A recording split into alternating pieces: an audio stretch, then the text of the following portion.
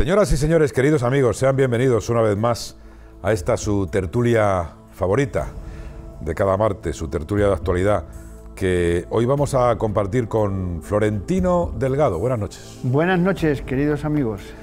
Con Carlos Bermejo, muy buenas noches, bienvenido. Buenas noches, Jesús. Con don Guillermo Muñoz Flores. Buenas noches, Jesús. Y bienvenido. Y con don José María San Román Cutanda. Buenas noches. Buenas noches, Jesús. Voy a poner ese segundo apellido tan ilustre. Eh, es un placer teneros aquí, los cuatro. Eh, y como este es un programa que habla y está pegado a la actualidad de Castilla-La Mancha, pero también a la actualidad general que se produce en nuestro país, tratamos todos los temas. Pues hoy, 28 de febrero, no se habla de otra cosa en la prensa, en los medios, en la televisión, en las portadas y en las radios, y por ende en este programa del caso Mediador, la presunta trama corrupta que desde Canarias ha implicado a un diputado socialista, Juan Bernardo Fuentes, que dimitía la pasada semana, al que se le acusa de gestionar subvenciones o favores a empresarios. En esta trama estarían implicados también, según precisamente el mediador, Marco Antonio Navarro, que así se llama, que ya ha declarado ante la jueza y ha estado en el calabozo detenido, que estarían implicados también en esta trama corrupta varios diputados socialistas. La entrevista que esta mañana Ana Rosa Quintana ha hecho, esta misma mañana del martes 28 de febrero, a este señor que podría enfrentarse a 20 años de cárcel, pues ha sido demoledora. Todos los medios del país se han hecho eco de esta y otras entrevistas que está ofreciendo este señor que implica en una monumental trama de corrupción a políticos socialistas. O lo ha dejado muy claro, aunque esta misma mañana eh, desde el Partido Socialista se ha dicho que ningún diputado socialista estaría incluido en esta trama. Eh, al que sí que ha incluido este señor ha sido el presidente de Canarias y a bastantes empresarios en una corrupta trama que según este señor, el mediador, así se llama el caso también, tiene importantes ramificaciones en el gobierno central. Ayer la ministra portavoz del, gobierno, eh, María Jesús Montero, anunció que, que van a atajar este caso, expulsando, si los hay, a los diputados que presuntamente hayan participado en esta trama, en este pastel y en las fiestas en hoteles del tío Berni, como se le denomina al diputado socialista canario, eh, fiestas con estupefacientes, prostitutas, mucho whisky y, según el denunciante, muchos favores a empresarios, obviamente con miles de euros por medio. Esto estalla en el peor momento para el PSOE, en plena precampaña del 28M de las elecciones, y el Partido Socialista que está investigando cuántos diputados socialistas, aunque esta mañana ha habido declaraciones diciendo que pues no, no, no, no son conscientes de que estarían inmersos diputados del Congreso de los Diputados del Partido Socialista. En fin, mm, Florentino, empiezo por el abogado, tenemos dos abogados, eh, también eres profesor. Otra bomba corrupta en España que nos duele, que nos que como he dicho es demoledor escuchar esto, que los ciudadanos de este país pues eh, se levanten y vean estas noticias en los medios de comunicación. Lo que digo, la corrupción que sigue ahí viva, ¿no? A mí lo que me ha llamado la atención, y por centrarme en un tema concreto que no se trata mucho o que no es objeto de comentario en exceso, es que mm, este tipo de, o sea, este caso concreto de, supuesta o presunta corrupción em, tiene, tiene unas reminiscencias de carácter interno administrativo que para, para, para, mí como observador jurídico eh, me llama mucho la atención. Al parecer, mm, y por centrar la cuestión en lo más importante o dentro de este tema que quiero tratar, que es el procedimiento administrativo en el que mm. teóricamente se ha producido, digamos, eh, o, genera o surge este, este asunto eh, y en su tramitación, eh, este procedimiento está sujeto a unos trámites en el marco del mismo, dentro del procedimiento. Que serán largos. no, según el cual, según los trámites estos, hay unos indicios, se abre un expediente, se investiga, se, dirige un pliego de cargos, se da trámite de audiencia y, la parte afectada o, mm, eh, digamos, imputada eh, presenta alegaciones, se hace una propuesta de resolución por el instructor dentro de ese procedimiento y ahí viene la clave. Se califican como muy graves los hechos y se impone una sanción o se propone una sanción muy alta. Por ejemplo, he visto por ahí en algún periódico que se proponían 75.000 euros de sanción. De repente ahí se paraliza el expediente o se pide que se paralice por parte del mediador y de este señor, este señor diputado, ¿para qué? ¿Con qué finalidad? ¿Con qué objeto? Pues eh, con la finalidad, el objeto o el propósito de rebajar la sanción de 75.000 euros a la que corresponda con una infracción ya no muy grave, sino una infracción leve. en eh, consecuencia, cierro, cierro, cierro la posición porque si no parece que se acoja.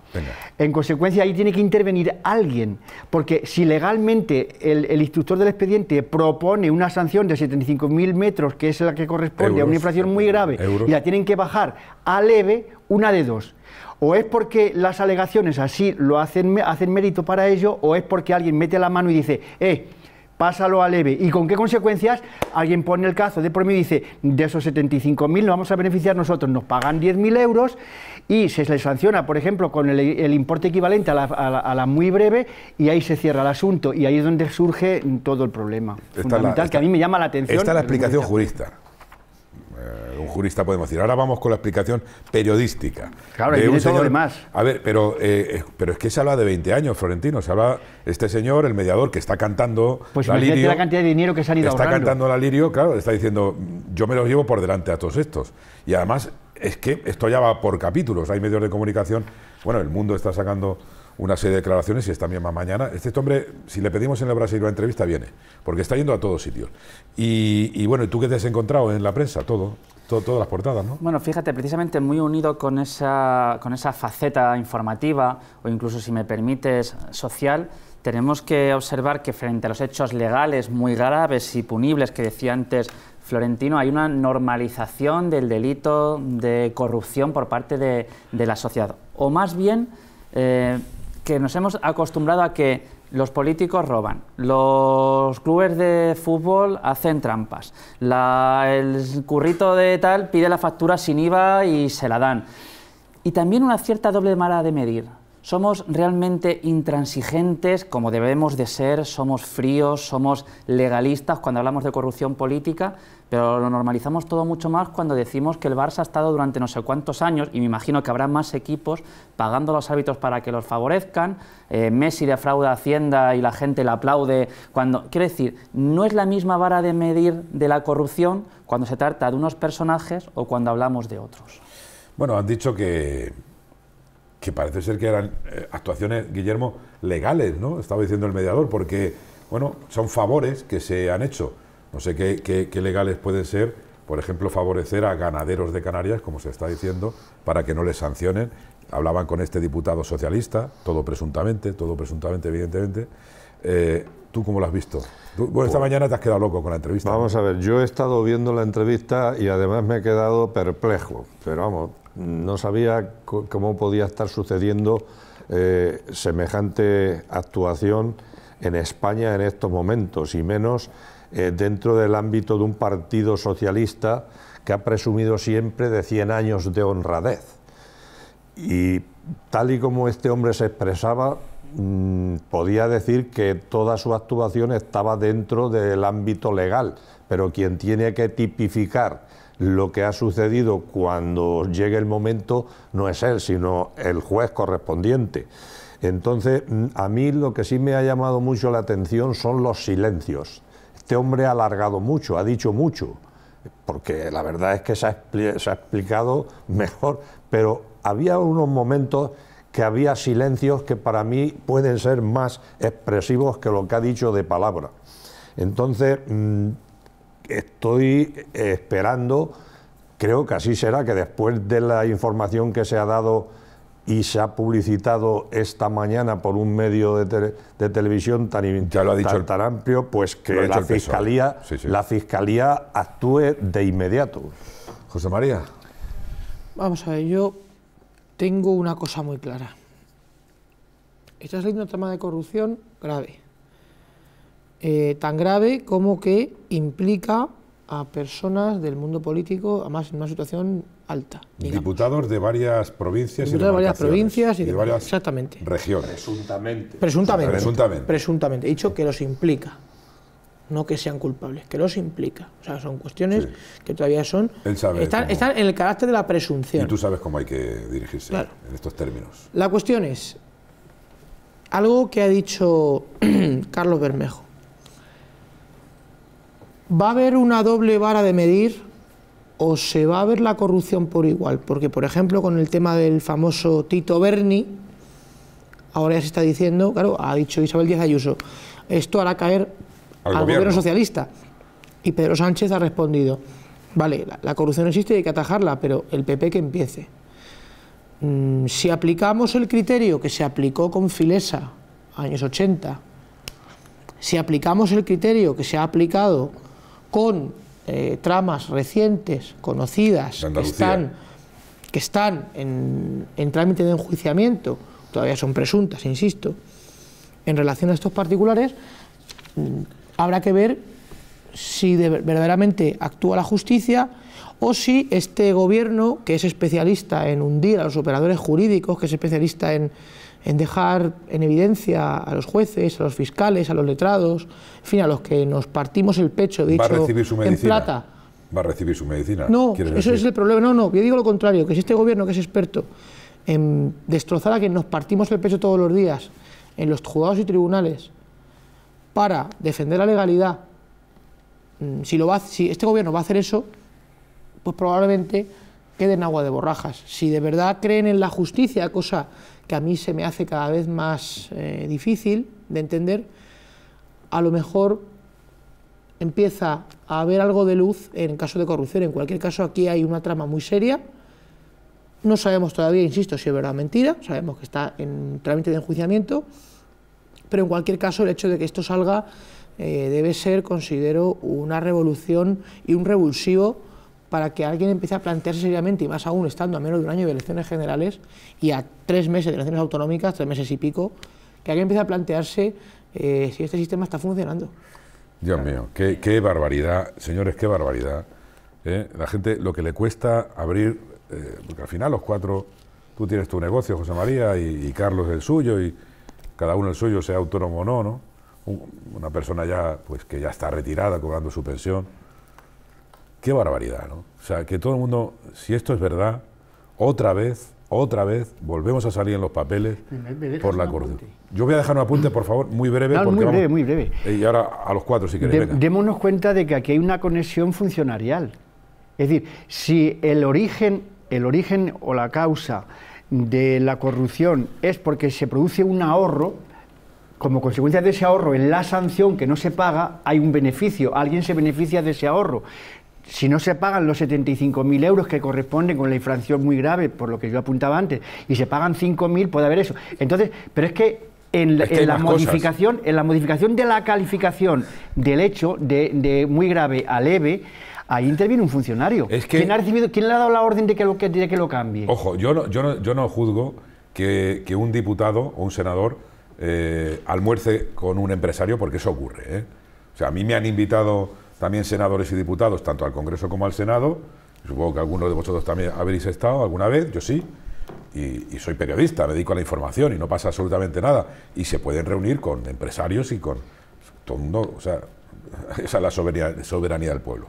Pero que se reúnan, si se descubre, para favorecer, porque no solo hablamos de sanciones a ganaderos, hablamos de empresarios que montaban eh, placas fotovoltaicas por toda España y que se reunían en comida y luego se alquilaba una planta entera de un hotel eh, con estupefacientes, prostitución, prostitutas, en fin, es una trama que esperemos que, salga, si sale a la luz, si es cierto todo lo que pasa, lo, y que se depuren responsabilidades. Como consecuencia de ese ahorro y de ese beneficio económico que alguien se lleva, es como se produce luego el abuso de la corrupción, de que uno se beneficie y se lo gasten en esas cosas. Yo no sé, de verdad, y se lo gasten con en esas toda la gente que ha entrado a la cárcel en España, con todos los políticos, ¿verdad, José María? Y no escarmientan. Y no escarmientan. Y es que siguen. Es verdad. Y siguen todavía, ¿eh? eh porque, sí, es verdad, claro. Porque la gente esa es, es, es que se dedican o a porque ven que los de arriba lo hacen. Pero vamos, está, está muy claro por la, por la mediocridad. O porque ven, como decíamos el otro día tú en la radio, claro, lo ven a lo mejor estos chiquititos y a lo mejor lo ven lo que, hacen, lo, hacen los de arriba y dice, pues yo también lo voy pero a hacer. Pero no existe la moral, ni la ética, ni la estética, ni nada. Que el origen la o la esencia de este, de este problema, que es la corrupción en nuestro país, lo ha apuntado antes magníficamente José María, es el sistema. Claro. O sea, el sistema está, está completamente corrupto, pero desde los estratos más orgánicos hasta los más elevados. Cuando el otro día hablaban del tema del conflicto entre Rusia y Ucrania y sus consecuencias para Europa y hablaban de una posible catástrofe o ataque nuclear, yo pensaba, jope, ¿y no habría que empezar de cero otra vez? Porque es que estos... Calla, calla. Pero el problema, Carlos, no es empezar de cero. Yo no, yo no he querido decir que el sistema esté corrupto. Lo que, lo que sí quiero decir, y lo digo, es que no considero correcto que sea el Poder Ejecutivo el que menoscabe al Poder Judicial y el que menoscabe a los operadores jurídicos del Estado. Y que en consecuencia eso genere eh, una repercusión pública como es el descrédito en la justicia. eso es lo que yo he querido decir. Hoy aprovecho que están con nosotros cuatro invitados a los que les gustan las letras. A ver, no las letras de la hipoteca, sino las letras que nos dan vida, que nos enseñan, las palabras, que bien unidas y construidas, pues crean grandes textos, porque tenemos a un profesor, también, bueno, a dos profesores, eh, a un exdirector del instituto, Guillermo, a un profesor también como, como Florentino, que ha utilizado, han utilizado los textos y los han escrito, porque, por ejemplo, eh, Guillermo tiene en su haber y es autor de varias publicaciones, sobre todo sobre historia y demás. José María San Román, con varios libros publicados. Florentino Delgado, inmerso en la investigación y con muchos textos que ojalá vean la luz, y el periodista Carlos Bermejo, con eh, cientos de artículos, con crónicas, con textos, con discursos para otros y piezas periodísticas que son literatura. Por ello quería hoy analizar con, con ellos lo que llamo yo tsunami que se está llevando por delante textos ya escritos, incluso de hace siglos, diálogos de grandes películas que son mitos, lenguaje de nuestro vocabulario, que no se creó para dañar, sino para adjetivar incluso, y textos que están en los libros, en la publicidad, en los anuncios, en la alimentación, en la música, letras de canciones que, por así decirlo, eh, una tropa de indocumentados, pero respaldados por la política y algunos partidos, se sienten, digamos, los paradigmas, los seres supremos, los que más saben, los que dictan y, por tanto, son o bien dictadores de lo que se debe hacer o inquisidores para prohibir, expulsar o denunciar al ciudadano que no piensa como ellos. Es lo que yo llamo, repito, eh, el tsunami o la dictadura de las minorías, la censura inquisitorial, la tropa del lenguaje inclusivo. Esa manera de dictar normas sin ser jueces y en muchos casos sin ser nadie. Hoy hasta hay que pensarse dos veces lo que vas a decir o escribir en un medio de comunicación o rotular en una carta en un menú de un bar. No sea que, según la policía moral de la neoinquisición, que suele ser curiosamente o aparece bajo la bandera progresista en algunos casos entre en una incongruencia de fatales consecuencias. Aunque creo que, que esto está cambiando, porque gente o profesionales como los que estamos aquí no nos vamos a someter a las indicaciones que creemos inoportunas y faltas de un absoluto rigor. Algunos lo llaman lenguaje incluyente, otros lo llaman censura y muchos lo catalogan de absurdo. Eh, y ahora voy a poner ejemplos, ¿eh? pero ahora quiero, eh, empiezo por ti, José María, tú que has escrito, ¿no? ¿Cómo, cómo estás viviendo todo esta, toda esta inquisición, esta dictadura de gente que te dice que no puedes decir esto, que no, puede, no se deben utilizar el, lenguaje excluyente, utilizando los neutros? Bueno, todo lo que ustedes saben que está ocurriendo y que afecta a nuestra manera de, de hablar y por ende a nuestra manera de vivir. Primero, ¿qué es el lenguaje inclusivo? Claro. ¿El lenguaje inclusivo incluye a toda la población que quiere incluir? Porque cualquier sociolecto debe incluir en cada una de sus franjas a la, eh, a la población para la que va destinada. Vale. Aparte de eso, el lenguaje inclusivo. El lenguaje inclusivo está utilizando normas admitidas y de uso habitual en la lengua? No. ¿Por qué? Porque el utilizar los neutros es algo que estaba en el latín y en el griego, pero es algo que el castellano no hereda a día de hoy. Solo hay dos palabras neutras en, castellano, ambos y sendos. Sí. Punto. Entonces, a partir de ahí, bueno, y ambas no, miento, ambos no, sendos sí. Eh, a partir de ahí, ¿El lenguaje inclusivo tiene que ver con la verdadera forma de hablar de los españoles? No. Ese E es una forma inventada por quien fuera. No es una forma utilizada. Sí, pero se puede entender que uno de los propósitos del que llaman lenguaje inclusivo que tú preguntas es no ofender. Ya, pero es que no, no. ofender, que es lo que ya, van pero es que vamos a ver la, vamos a ver, la Pero lengua. también es cierto que, que una gran mayoría de gente se siente ofendida cuando se deforma lo que tú estás diciendo de la lengua española. Pero es, que la, pero vamos a ver, pero es que la lengua no es.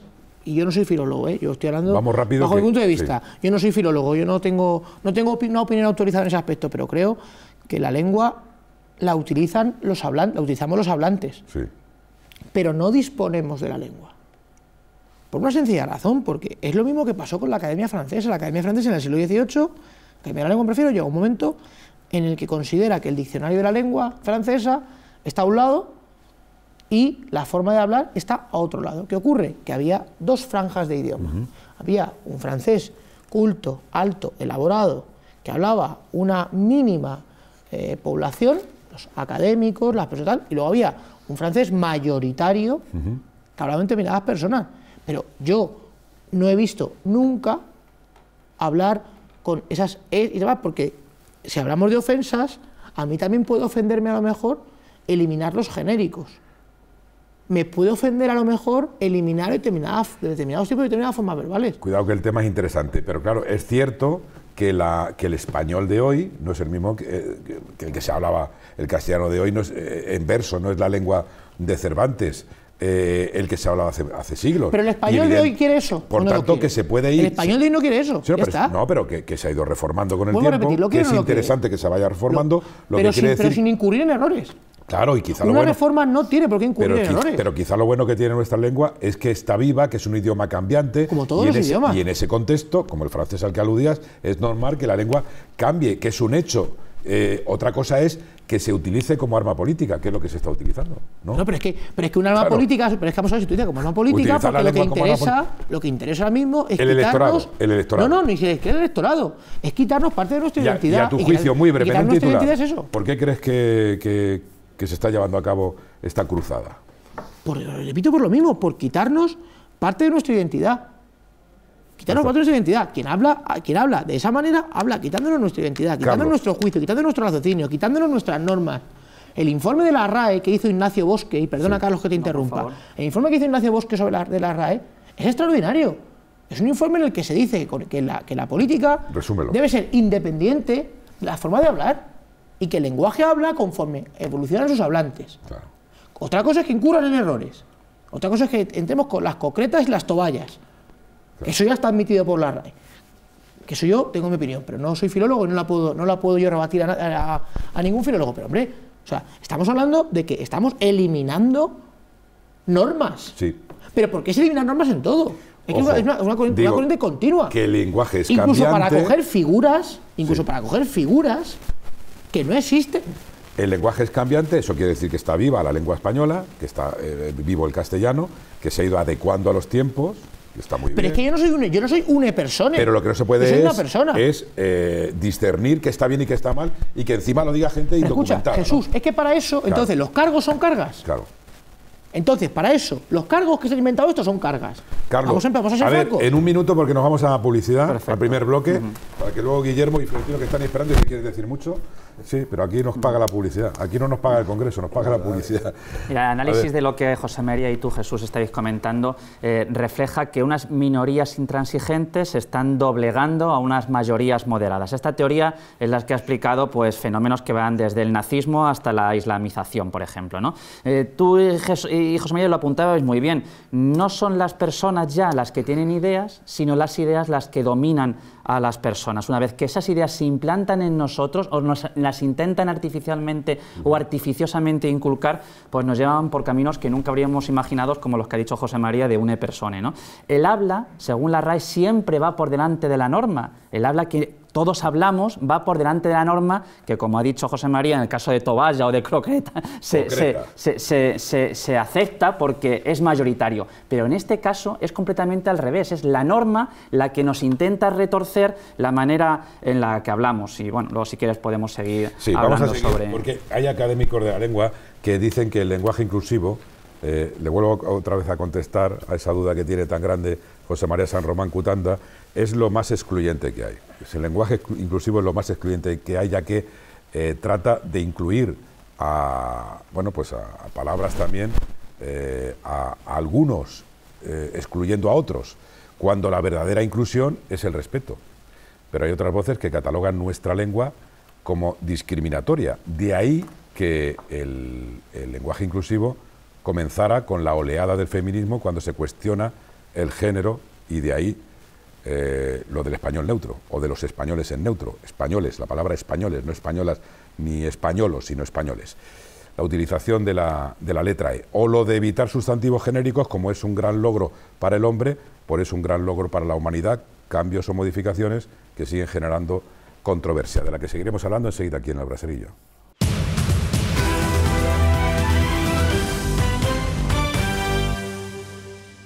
En el braserillo, por cierto, eh, en este bloque que acaban ustedes de ver, nunca verán un anuncio de Colacao eh, o aquel anuncio del, Colacao donde se cantaba Yo soy aquel negrito del África, África tropical, que, que veíamos, bueno, yo soy de una generación, Guillermo sí se acuerda de aquel anuncio, ¿verdad?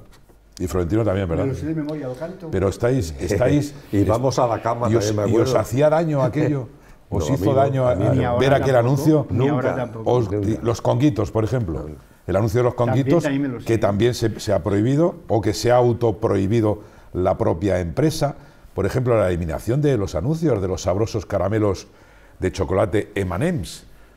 Eh, porque en los anuncios en Estados Unidos, el mismo que ven ustedes, que han visto ustedes aquí en España, se les pintaba algunos caramelos con tacones altos, como si fueran caramelos femeninos, y caramelos de chocolate M&M's eh, masculinos. Bueno, pues es algo alucinante la eliminación de anuncios de juguetes, por llamarlos sexistas y que atentan contra la dignidad de las niñas. Se han eliminado las bailarinas en la televisión pública porque salen con minifaldas. Se criticó mucho que eh, aparecían en un programa de José Mota unas bailarinas en minifalda. Creíamos que esto era cosa de la Inquisición, de la Edad Media. Pues no, es cosa de la Edad Moderna. Eh, la eliminación de textos de, factoría, de la factoría Disney, que por ejemplo cosifican a la mujer, la película Pocahontas, que están y persiguen que, se retire, la petición para que se eliminen diálogos de películas como Lo que el viento se llevó, eh, o personajes de la película incluso, ya que la actriz secundaria que hacía de criada, pues según esta tropa es un insulto a la mujer. Tendrá que devolver el Oscar. Bueno, ya no porque falleció esa actriz. Esto es lo que dice la policía moral que no existe, que no tiene ninguna autoridad eh, sobre la eliminación y prohibición de, por ejemplo, emitir canciones con letras que atentan contra la dignidad de la mujer o de los colectivos LGTB. Canciones como Sufre Mamón, de Hombres G, que todo el mundo hemos cantado, pero ahora no. Canciones incluso de iconos de la izquierda como Sabina, Aute, Serrat y otros como Loquillo y la mayoría de los grupos del pop del rock español que quieren que se retiren, que no se vuelvan a emitir, que no se vuelvan a difundir la eliminación de las librerías de textos y libros del siglo XVI o del siglo XVIII y de todos los siglos que hagan alusión al maltrato y en ese apartado también la prohibición y difusión de películas, series, documentales, es decir, mucha ficción y casos reales también, como la película, no sé, que se rodó aquí en Toledo, donde estamos, Solas, y otras tantas que visibilizan el problema de la violencia contra las mujeres, que no se rueden. Pues bien, esta serie de censura inquisitorial, que quieren que llegue a los libros, al cine y a la vida misma, es por la que nos quieren hacer pasar sin ser ninguna autoridad y utilizando incluso, Florentino, las redes sociales como herramientas de persecución. Y ahora escuchamos a Guillermo. Poco más queda decir de, después de esta editorial que te has, que te has soltado. Y que tenía ganas. ¿eh? es que, que, además es tan precisa y, tan, y tan certera. Bueno, vamos a ver. Yo, hago, yo siempre estoy haciendo una declaración, mm, digamos, personal y es que mm, soy rebelde y quiero seguir siéndolo. No me voy a someter. Yo personalmente yo no me voy a someter. Y no me voy a someter a, algo que, se me quiere obligar. Es decir, a no tener sentido común y a no utilizar el lenguaje desde el sentido más económico, es decir, porque yo entiendo que el lenguaje lo que pretende es un entendimiento directo y cuanto más preciso mejor y no enredado y sobre todo mm, largo, prolongado, incomprensible e inexplicable. No se puede estar todo el día cambiando los artículos ni, los géneros, o por, incluir, poner dos o tres, incluso hasta tres y cuatro supuestos géneros que quieren poner ahora. ¿no? Para mí, Además, me, acuerdo, por ejemplo, del lenguaje eh, mimético, cómo, el, por ejemplo, de los sordomudos, cómo se va a hacer inclusivo. Eh, es muy gracioso, ¿no? Y luego, yo lo que veo es que todo una, una, va todo contra natura. Cómo describir el físico. O sea, el lenguaje también es una descripción física de las cosas que observan los sentidos, que vemos y que oímos, por ejemplo, ¿no? Entonces, ¿Por qué razón no vamos a expresarnos con naturalidad y con el sentido común? Un día aquí yo ya hice una exposición mm, que nos conducía al absurdo de, la comparativa del lenguaje normal corriente con el, inclusivismo, en el cual tienes que estar eh, mm, duplicando o triplicando el esfuerzo intelectual de la expresión para que podamos entendernos, cuando lo que se trata es de, hacernos entender eh, como principal finalidad del lenguaje. Para mí, Efectivamente, esto es una imposición que es cansina, que es insufrible. Y además, si, nos metemos, ya por ahí terminando, si nos, si nos metemos en la aventura de, del revisionismo, eh, ¿dónde comenzamos? revisamos todo desde el principio de los tiempos. Ya, tratamos un programa sobre Es que es absurdo, eso, es ridículo. Yo he puesto todos los ejemplos en el cine, en la literatura. Yo personalmente me niego a sumarme a. Y lo que, y lo que sí hago es, mm, aunque sea simbólicamente aquí, protestar por esta estupidez. Para mí es una estupidez. Bien, pues eh, mm, voy a empezar con una frase que dice, se avecina una dictadura de las minorías en muchos países de Europa. Esta frase no es mía, es de don Alfonso Guerra. Y es verdad, es decir, en España se están produciendo una serie de leyes por unas minorías que están, a las que se están doblegando las mayorías y, e incluso se están doblegando a ellas como las propias empresas que se autocensuran. se están doblegando pues escritores, políticos, periodistas y un etcétera bastante grande, ¿no? Francia, por ejemplo, se niega a este mangoneo. En Francia ya se han negado a aceptar este mangoneo porque no hay otra forma de expresarlo. ¿Qué es lo que están pretendiendo estas minorías desde el punto de vista de su ideología?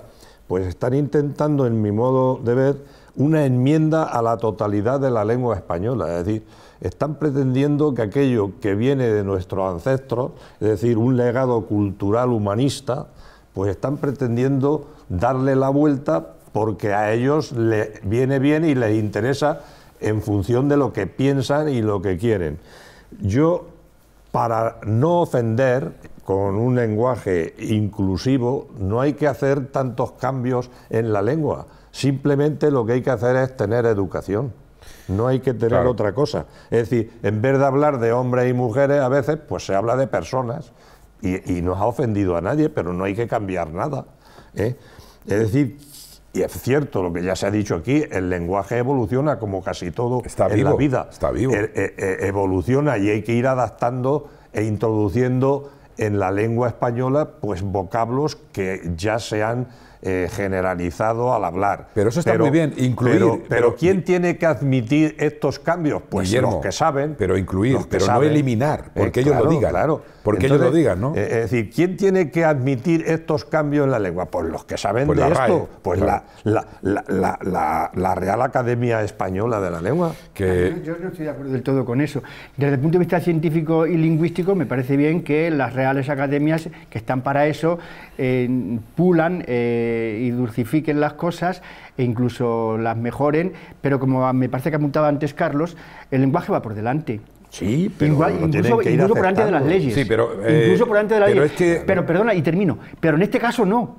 En este caso, la ley va por delante del lenguaje, y también lo decía Carlos. Es decir, las leyes estas que se están inventando o estas normas que nos quieren imponer no obedecen a que el lenguaje de la calle haya impuesto el inclusivismo este o llamarlo como quiera, diciendo sino al revés, eso no puede ser. Que hay grupúsculos, hay grupos que están incluyendo esta serie de peticiones que yo antes he hecho para, para, para el cine, para el mundo de la literatura, para el mundo de los medios de comunicación, ¿no? Pero es que Cuidado, cuando la ley viene de un ministro, de ello vamos a hablar. Por cierto, he dicho también que hay muchas empresas que ya se autocontrolan, que se autocensuran, que también es lo más grave, ¿no? Que hay que, tener mucho cuidado a la hora de incluso de hacer un anuncio eh, como por ejemplo para, para, vender huevos, las gallinas. Es que, bueno, en fin, Carlos, tú eh, que tienes que tener mucho cuidado porque eres periodista y además escribes en varios medios de comunicación y, y llevas la comunicación de empresas, esto está ocurriendo. Las empresas también se están autocensurando, ¿no? Porque para no molestar a nadie. Claro, porque es una cuestión más que de evolución del propio lenguaje, del imperio de la ideología. Y siempre hay alguien dispuesto a inculcarnos esas ideas, esa censura ideológica a la que tú eh, te referías, que en cierto eh, modo puede tener esos tintes inquisitoriales que tú comentabas. Así nos encontramos con esta ideología del lenguaje inclusivo o este absurdo del lenguaje incluyente que me hace, como soy periodista que tú comentabas, leer notas de prensa tan extensas e interminables como aquellas que dicen el ciudadano y la ciudadana, el vecino y la vecina, el niño y la niña, el teniente de alcaldesa y la teniente de alcalde. No, no, no, no sé, no. Qué ridículo, es, es, es, es Pero los políticos hablan así en su casa. Claro, no, es Escucha, cuando están tomando una cerveza, están diciendo, por favor, camarero o camarera, ¿me puede poner un aperitivo o aperitiva para mi amigo o mi amiga que Por estamos. Hablan así. decía que van- o lo que hacen van al de- revés. De postureo. Es ¿no? al revés, Claro, no, es no. que es es esa ideología o esa manipulación que es tanta, fíjate Un Jesús, solo, un apunte. No, no.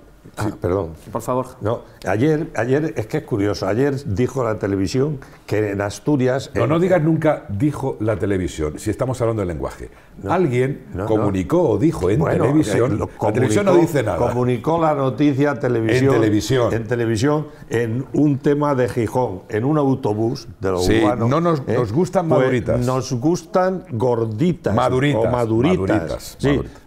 Y se refería a las hamburguesas. Bueno, pues ya ha habido una protesta para que quiten ese anuncio. No, la han retirado. Mira, eh, la noticia exacta es: nos gustan maduritas, que es el eslogan que una hamburguesería de Gijón ha tenido que retirar de sus vallas de autobuses y publicitarias absurdo. porque ha sido vetado el anuncio por el Instituto de la Mujer de Asturias, un anuncio en el que este burger pues anunciaba carne madura en sus hamburguesas. Sí, sí.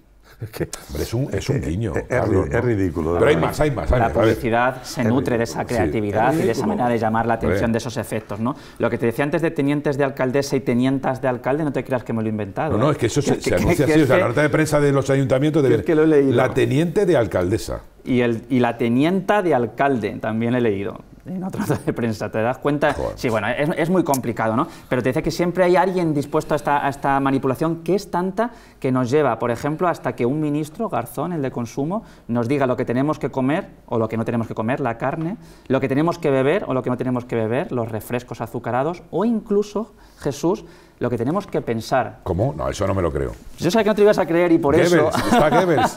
Y por eso lo he traído. No, Garzón no creo que Garzón- prohíbe asociar el color rosa a los juguetes A ver, espera, de niñas. quieto ahí, espera, espera, espera un momento. El ministro un- Garzón nos prohíbe pensar, prohíbe espera. que asociemos el color rosa con los juguetes de niñas. Carlos, estás enseñando, estás enseñando- mira, ahí tiene el título, Mm. Que dice exactamente, Garzón prohíbe asociar el color rosa con los juguetes de niña. Vamos a, ver, vamos a ver una cosa, perdona que te interrumpa. No le hagas propaganda, hombre, por favor. Perdona una cosa. Hay algo que a mí me preocupa todavía más. Vamos a ver, yo no seré quien niegue la igualdad entre hombre y la mujer. No solo no la niego, sino que la afirmo categóricamente. Pero todo este aparataje, todo este andamio, toda esta cimentación, estructura, llámalo como quieras, de ellos, ellas, ellas, tenientos, tenientas, tenientes, colores rosas, azules, rojos o medio pensionistas.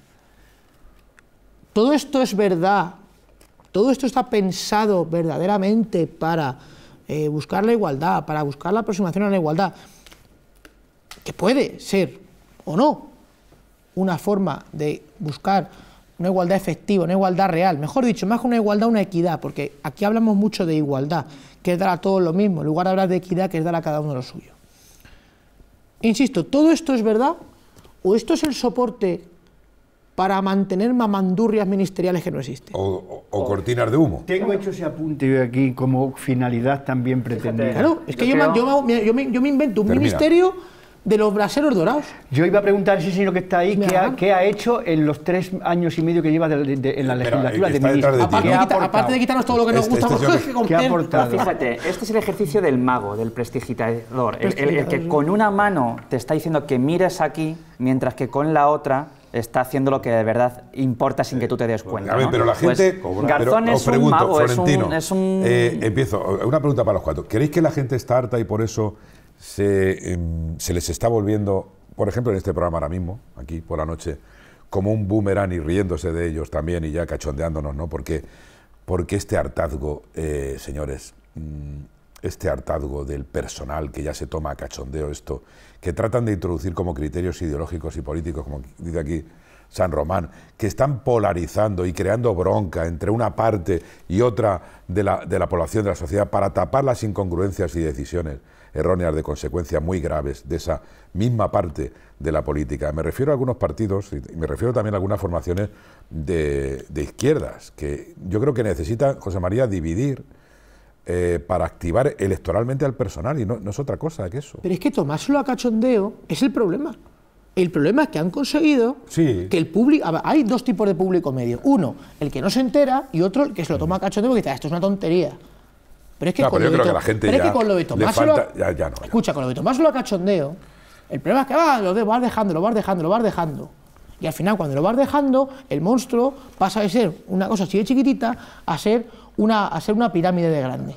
Entonces, entonces, claro, es lo que está pasando. Entonces, la izquierda quiere dividir. Yo no digo ni que la izquierda ni que la derecha quiere dividir. Yo lo que digo es que hay sí, un grupo. Yo creo que quiere dividir. Yo, pero escucha, yo no voy a decir eso. Yo no voy a mantenerme ahí. Y la división de clases. Pero escucha, yo no, yo no, voy a mantenerme en eso. Voy, yo voy a, voy a, quitar, voy a quitar, voy a dejar a un lado. Y están en ello, además, el lado ¿eh? político. Voy a dejarlo a un lado para ser más objetivo. Yo lo que digo es que hay un grupo de personas que casualmente pertenecen a un sector político concreto. Dilo, a la izquierda. A un sector político concreto. Sí. Escucha, no, pero quiero, quiero, quiero, quiero salirme de izquierdas y derechas en este, en este argumento. Entonces, pertenecen a eso. Y entonces, ese grupo de personas lo que están haciendo es, como ha dicho Carlos, la técnica del prestidigitador, la venta del humo. Y de paso, lo que hacen es revolucionar a la gente con mensajes absurdos mientras pasan cosas peores. Aquí lo dijo Javier Gallego hace unos días. Es la norma de, es la norma de Goebbels. Sí. Información, información, información, información. A todo, a, to, a tope, a tope, a tope, a tope, a toda mecha. Y con eso, mientras esa información está tan rápida, está siendo tan, tan fuerte y además está calando en determinados sectores, gente además, que me parece a mí que mucho no ha estudiado de, del tema ni de nada, pero claro, esa gente al final es la que está colocada cada vez en más sitios, es la que está cada vez dando más caña, porque en el fondo la gente que da caña de verdad. Sí. Porque otros y yo, fíjate, no me considero de eso y creo que aquí los que estamos tampoco, pero hay mucha gente, una gran mayoría que dice, bueno, mira, da igual, yo no voy a cambiar nada. Paso olímpicamente. Y hay gente que no se da cuenta que un bolígrafo cambia un papel entero porque lo, porque lo, lo llena de tinta. Eh... Esto es lo mismo. Entonces, vamos a, vamos a empezar a ser un poquito honestos con las cosas ya de una puñetera vez. Vamos a empezar a ser francos, vamos a empezar a decir la verdad. Es que el problema es que no hay movilización ciudadana contra estas aberraciones de que nos tapan lo, lo, lo esencial y lo imprescindible. No es que no hay movimiento. no te cabres tanto. Es que ya, No es puedes. poco, que ya está bien. Es que, Si el es que yo me siento es que estafado no- como ciudadano. Es que yo me siento estafado como ciudadano. O sea, ¿por qué tengo yo que estar en un juzgado cuando, cuando estoy y lo diré? Y Pero es que esta no, gente Florencio la- no sabe. pero es Porque que- estoy como un ciudadano, Pero tengo que estar aguantando el tipo y viendo, y hablo de mi profesión, aguantando, diciendo una palabra otra u otra, cuidando todo, porque si no, a lo mejor el que me mete, me mete unos pendientes a mí. Florentino, ¿verdad o es que- mentira es lo que estoy este diciendo? ministro- ¿Sí o no? Dilo. a este ministro, dilo en alto. a este O sea, ministro lo han por puesto porque le han votado y hay Vale, que respetarlo. vale, pero este señor es un señor que hasta que no llegó a Moncloa nunca se puso una corbata. Y ahora aquí tenemos con una corbata puesta todo el día. Bueno, dice el es un se- señor que se ha metido con las bebidas azucaradas, que se ha metido con los Sí. azúcares, que se ha metido con no sé qué. O sea, ¿este señor tiene algún criterio científico para meterse No, con eso? aquí hay, hay- Yo quiero mira, ver los informes un político, un político muy importante dijo ayer, dijo, Ya está bien, el señor eh, Garzón no hace nada últimamente tras semanas de permiso de, par- de por, par- de por paternidad, por paternidad. Bueno, le ha dicho de todo. Este señor es el presidente de Aragón, Lambán, que dijo que lo que se esperaba de Garzón era eso, que no hiciera nada. Por cierto, que habéis Estos hecho, habéis hecho alusión antes, durante y después del parto. El ministro Lo son. Garzón de Unidas Podemos, ministro del Gobierno, más o menos que la ha liado, ha hecho ya alusión aquí eh, Bermejo, con una guía florentino de estereotipos sexistas. Garzón afirma ahora que decir cochecito es una forma civilina de sexismo contra las niñas. Parece eh, que el líder de Izquierda Unida está obsesionado con los juguetes, con los que se eh, entretienen los niños. Ya puso eh, fin, prohibió los anuncios de juguetes que asocien el rosa con las niñas, lo ha dicho Bermejo, y el azul con los niños en su primera Navidad como ministro. Destinó 95.000 euros a la campaña de huelga de juguetes, aquel anuncio de la huelga contra de, los juguetes, que, de, de brazos caídos, contra los estereotipos. Y ahora Alberto Garzón, a través de su ministerio, ha editado una guía titulada Libertad para jugar, una guía para la elección de juguetes sin estereotipos sexistas. En la- y no la hemos leído, parte, ¿eh? porque es que es muy aburrida además, en la que tacha de sexismo civilino contra las niñas el hecho de utilizar diminutivos como cochecito para referirse a sus juguetes y enmarca dentro de ese sexismo civilino hacia las niñas el empleo de diminutivos como mini, peque, cochecito, casita, comidita, merienditas, bolsito, blandito, hermanito, sillita o ratita, al tiempo que critica que para los juguetes de niños se usen superlativos como super, mega, gran, colosal, gigante, hiper, ultra, multi, extreme, colosal y máximo. ¿Estos son cortinas de humo florentino, como decimos, o no? ¿De verdad nos están dirigiendo políticos indocumentados o tiene razón? Bueno, yo, es verdad que las niñas se preocupan mucho de si decimos meriendita, cochecito, o niña no cojas el cochecito, coge el Déjame que responda. Bueno, mira, yo en primer lugar voy a hacer mío un pensamiento que se atribuye a Einstein y se lo aplico a este señor mm, que no me apetece ni, ni repetir su nombre. Dice, si quieres entender a una persona, no escuches sus palabras, observa su comportamiento. Es una lección de vida que vale con respecto a este y a cualquier otro. Eh, yo voy a decir otra cosa, antes he dicho que me revelo contra estas imposiciones. Yo digo, viva la diferencia. Viva la diferencia entre hombre y mujer, viva la diferencia entre hombres, viva la diferencia entre mujeres. Y ojalá siga existiendo diferencia, porque si fuéramos todos iguales, qué aburrimiento. Si todos fuéramos perfectos, qué aburrimiento más absoluto. Que no, que no quiero ser igual que otro hombre, igual que otra mujer, que la igualdad no consiste en eso que la igualdad consiste en tener las mismas oportunidades, pero que cada uno tenemos derecho a desarrollarnos como somos y como queremos ser y como nos dé la gana, y como, y como la evolución natural nos imponga adornado con educación y con comportamiento y con comportamiento. Eso es lo que define a las buenas personas y al sentido común con que nosotros debemos actuar. Y no estás, vuelvo a repetirlo con perdón, imbecilidades. Y lo digo elevando el, énfasis, imbecilidades. Falta de urbanidad. termino, termino. Yo respeto a esta persona, pero tiene que comenzar a respetarse ella misma en primer lugar, porque a mí lo que me transmite, y, remitiéndome al pensamiento que he leído antes, su comportamiento hace que no le respete, porque no se respeta a sí mismo. Es que se comporta como, como un imbécil. ¿Qué ha hecho en tres años y medio de ministro? Pero este señor que pinta de ministro, o de cualquier otra cosa, o de director general, o de viceconsejero, o de lo que le quisieran nombrar, pero si no hace nada, está cobrando un sueldo, están manteniéndose, estamos manteniendo nosotros de nuestro bolsillo, estamos manteniendo... ¿Quién maneja el barco? Un ministerio entero como el de esta... ¿Quién está este manejando el barco? ¿Quién está al volante de esto? Mira, sí, que, sí que hay hartazgo, sí. Yo estoy harto. Desde Guillermo, ¿estás harto tú? Estoy harto. Yo estoy más que harto y creo que la gran mayoría, la gran mayoría de la sociedad, la gran mayoría de la sociedad. Pero mm, vuelvo un poco a decir lo de la dictadura, es decir, estos señores que eh, están demostrando una ineptitud total para ocupar el cargo que ocupan, están ahí cobrando del erario público de todos nosotros. ¿Y qué es lo que están haciendo? Están imponiéndonos leyes, leyes que no tienen que no tienen ningún que no son sentido, necesarias algunas, que no tienen ningún sentido, que son erróneas, que, que, hasta, pero claro, hay un que producen efectos perniciosos y efectos perniciosos, es, decir, es decir, estamos estamos mm, admitiendo y con una pasividad eh, admitiendo a esta gente, porque perdón lo de la expresión de gente, pues eh, en unos cargos y, en unas responsabilidades que en condiciones normales jamás hubiesen llegado a donde están. Bueno, señores, que tenemos muchos temas. Un minuto para, acá, para Bermejo y otro minuto que quieren hablar sobre este tema. Vamos a ir a la publicidad y enseguida vamos a hablar de algo que ocurrió el martes cuando estábamos emitiendo este programa. A mí me lo, me lo enviaron, eh, bueno, pues eran las 10 de la noche, yo lo había visto, pero la verdad que eh, les tengo que... Ustedes nos van conociendo, aunque, aunque no nos toquemos, ¿no? Y conocen ya eh, cómo piensan todos los tertulianos que vienen por aquí y, toda la, gran playa de positiva que tenemos de tertulianos, ¿no? Y a mí me, pues me van conociendo, evidentemente, claro, y saben cuando estamos cabreados, cuando no estamos cabreados. Hoy José María anda, ha venido con el pie con el pie cambiado. Yo solo quiero ser libre. y, y tú quieres ser libre. Y, todos queremos ser libres. Pero, señores, yo eh, conté hasta 10 el pasado martes porque tenía los vídeos aquí de Miriam Nogueras, la diputada que retiró la bandera, y preferí que pasara el tiempo, que pasara la semana, hablar con el equipo del programa y que lo abordemos enseguida. Antes de nada, nos vamos con el tema de, ¿era lenguaje excluyente o lenguaje inclusivo? Dos reflexiones de San Román y de Bermejo para terminar con este asunto.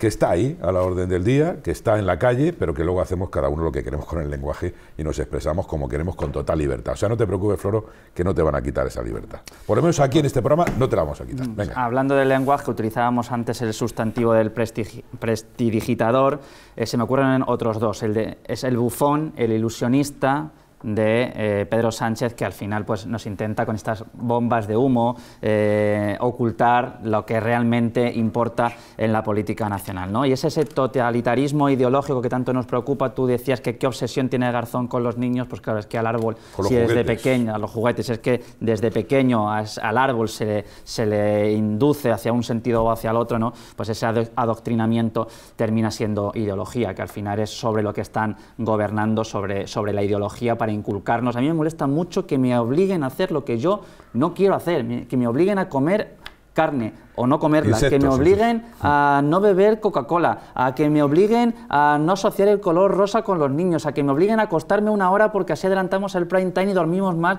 y la jornada laboral. O sea, es que me obligan a hacerlo todo, me ordenan la vida y eso me, me fastidia profundamente. Yo solo una pregunta. ¿Lenguaje inclusivo sí y urbanidad no?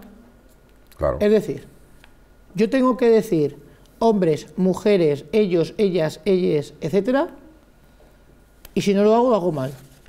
Pero que alguien salga a manifestarse, como Dios los trajo al mundo por ahí, de cualquier manera, o que ofendan el sentimiento religioso, o que ofendan el sentimiento patrio, o que ofendan a otras personas que no son ellos, o que rupturen los fundamentos básicos de la educación de la educación, de la cortesía, de la urbanidad. O sea, eso, lenguaje inclusivo, sí, y esta urbanidad no. Pues Yo me bajo del barco. Pues no te bajes, porque tenemos un país maravilloso y somos un país muy grande y somos una patria muy querida y que nos mira todo el mundo pero bien y que somos un país del que tenemos que estar y somos y tenemos que estar muy orgullosos que es España porque alguien verá este programa y dice joder estos tíos cómo están poniendo no, estamos poniendo a la clase política que la clase política está en estos momentos eh, muy poco valorada, diga lo que diga el señor Tezanos.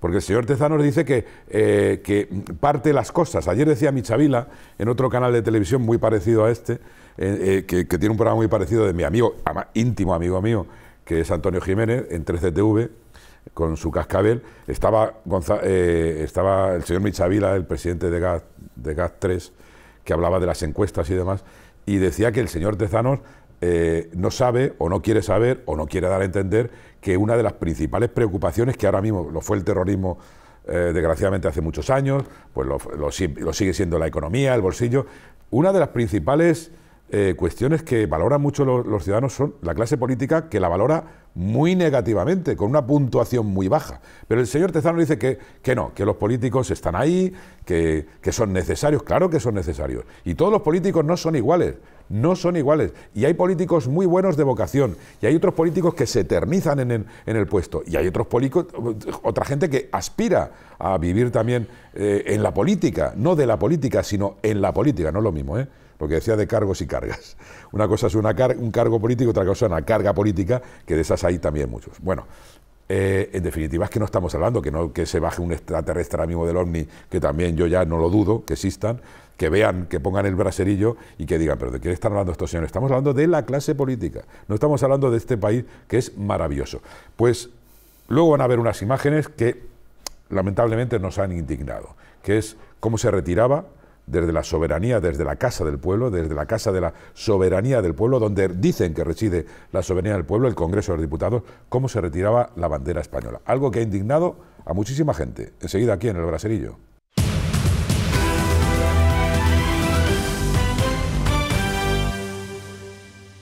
El Braserillo, como todos los martes por la noche, los miércoles en la redifusión, si nos ven al mediodía mientras están almorzando, incluso también en la madrugada, si están abrazaditos al insomnio. Hoy con Florentino Delgado, con Carlos Bermejo, con Guillermo Muñoz Flores y con José María San Román Cutanda. Me gustaría que antes de, emitir, de que ellos emitieran eh, su opinión, em, antes de que nuestros invitados se manifiesten, me gustaría que volvieran ustedes a ver, porque seguro que ya las han visto, estas imágenes, esta acción la semana pasada de una diputada nacional, concretamente del partido independentista catalán Junts, que se producían el martes pasado en la sede de la soberanía del pueblo español, en la sala de prensa del Congreso de los Diputados de España.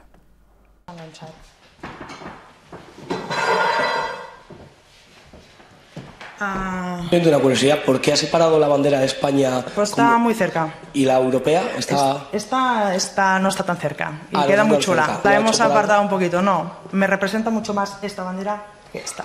Le representa más la bandera europea que la bandera española. En la Constitución española, el artículo 1.2 eh, refleja que la soberanía nacional reside en el pueblo español del que emanan los poderes del Estado. Y en el artículo 66 de esa misma Constitución se refleja que las Cortes Generales representan al pueblo español y están formadas por el Congreso de los Diputados y el Senado. Conclusión. Esta diputada de Cataluña, Miriam Nogueras, portavoz de Junts, partido independentista, que retiró la bandera porque le molestaba, porque la tenía muy cerca, como han escuchado, esta diputada es representante del pueblo español y por tanto de la soberanía española. ¿Cómo es posible que un representante del pueblo español aparte la bandera de España? Por tanto, es un hecho anticonstitucional como todo lo que predican y hacen. De hecho, sus compañeros estuvieron en la cárcel condenados por acciones anticonstitucionales como la de declarar la independencia de su región, aunque fueran después indultados.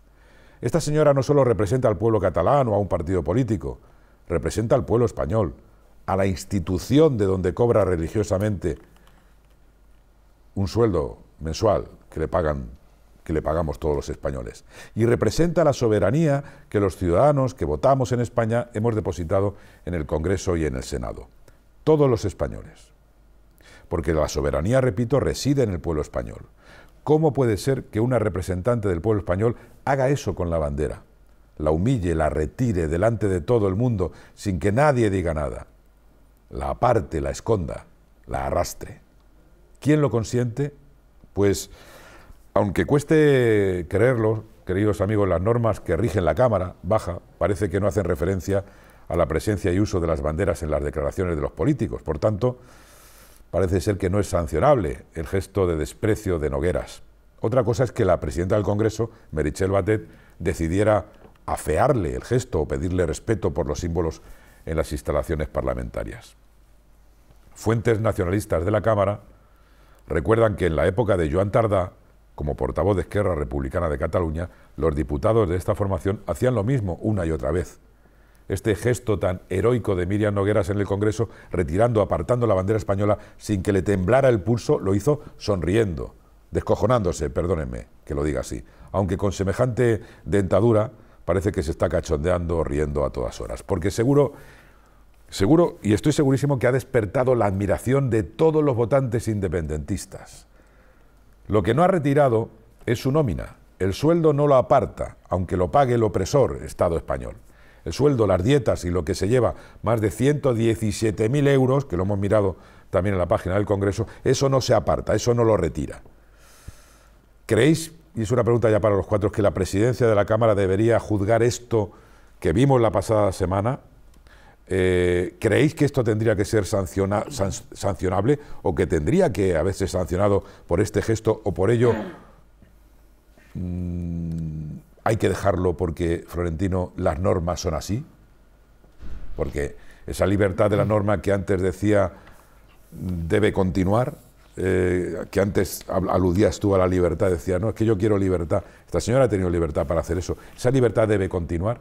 Bueno, después de ver eh, las imágenes y de escuchar todas las cosas que se han dicho, la opinión de Florentino Delgado. Yo lo que observo es que este tipo de actos y de gestos, ellos saben que son ofensivos para el resto de los españoles a los que dicen que no les representan, porque si no les representa la bandera española, dice que les representa la, la, de la Unión Europea, mm, en primer lugar está diciendo una falsedad y, y algo, algo, por lo menos inexacto. Si le representa la bandera europea es porque está en España, es diputada española y es española, si no, no estaría en el Parlamento español, en las Cortes Generales.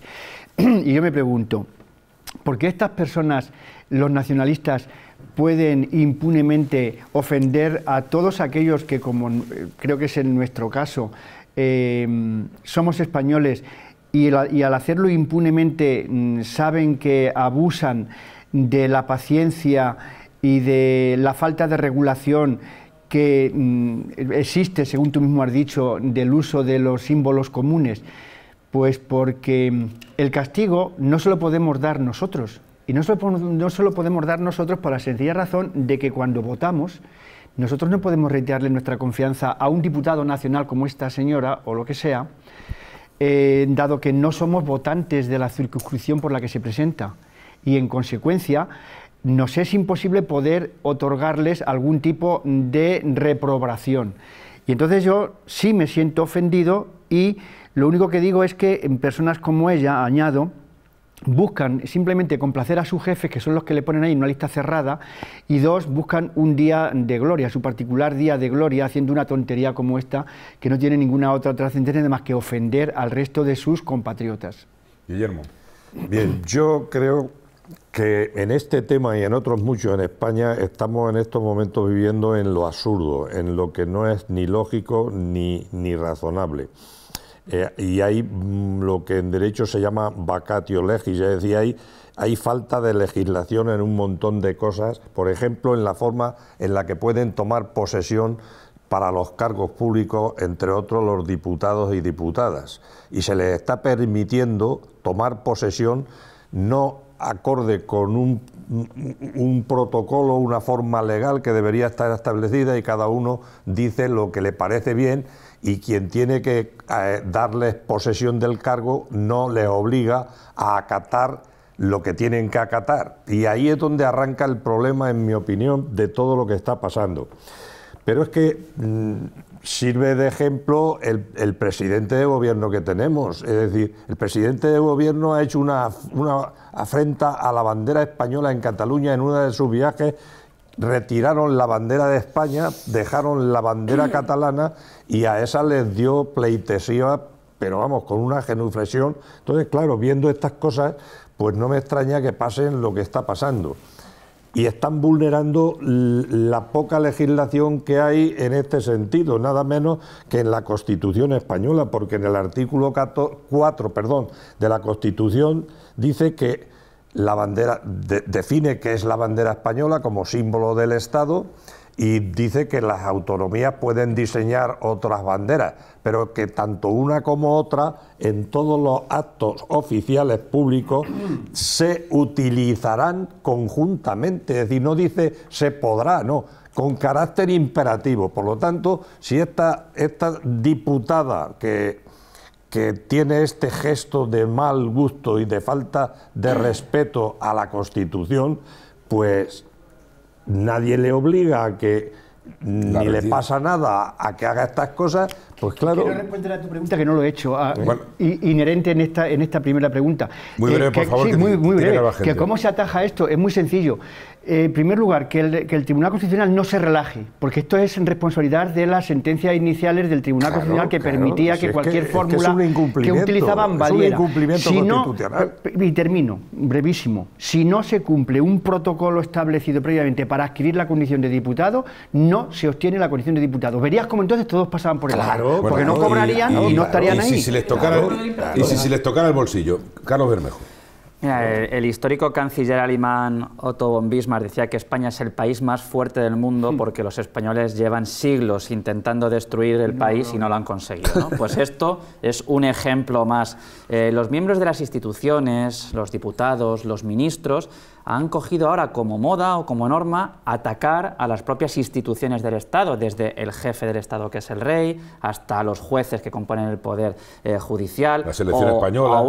O, una parte tan importante de la sociedad como son los empresarios, ¿no? que, que se ven atacados por los propios ministros. Así que el siguiente paso era que atacasen también a los signos del Estado, como es la bandera, como es el escudo. Por lo tanto, pues poca novedad, o poco ha conseguido llamar la atención a este respecto. ¿no?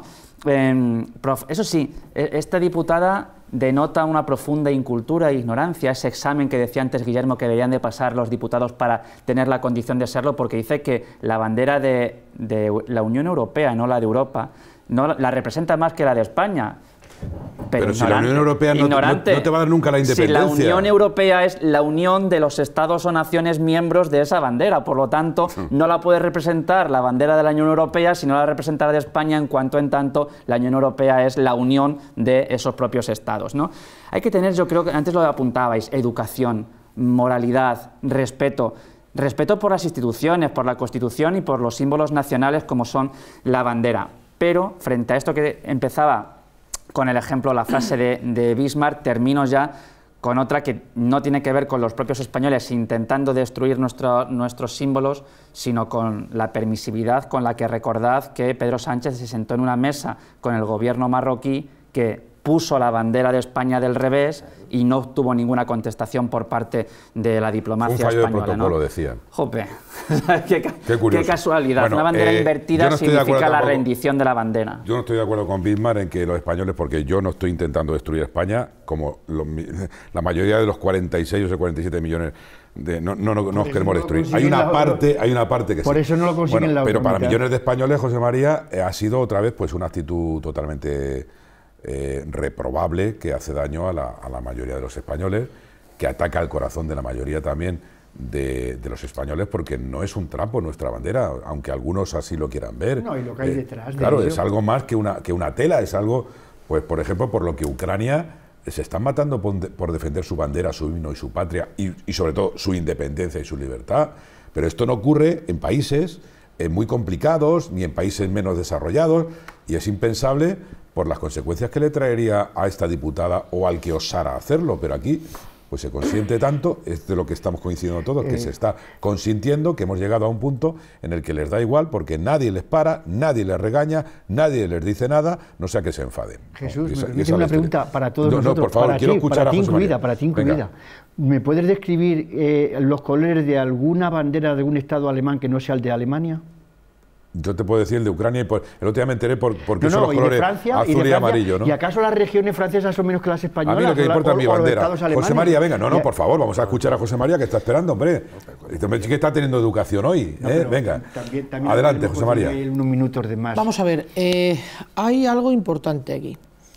La actitud de Miriam Noguera no deja de ser sino una muestra más palpable y evidente de que hemos perdido en España la cultura de los símbolos himno, escudo, bandera, son símbolos nacionales que quizás son una de las pocas cosas que tenemos en común con todo la gran mayoría de los estados del mundo, que tenemos esos signos, cada uno de los nuestros, pero tenemos todos los, esos, esos tres, digamos, tres baluartes eh, significativos que identifican a, a cada uno de los estados. Bien, una persona que está cobrando 117.000 euros de un estado que, según sus correligionarios, les roba, lo que hace es cometer un acto tan sencillo como el de la incongruencia.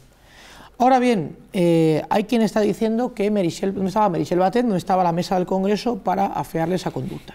¿Cuál es el problema? Sí, lo que yo he preguntado. El artículo 99 del reglamento del Congreso de los Diputados, el 99 y siguientes, hablan de la, doctrina, la disciplina parlamentaria. No hay un supuesto determinado para estas circunstancias.